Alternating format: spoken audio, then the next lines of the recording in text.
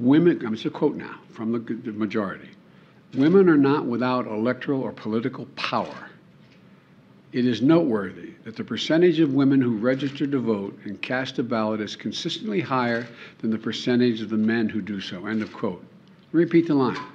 Women are not without electoral and or political or, or maybe precise, not and or, or political power. That's another way of saying you, the women of America, can determine the outcome of this issue.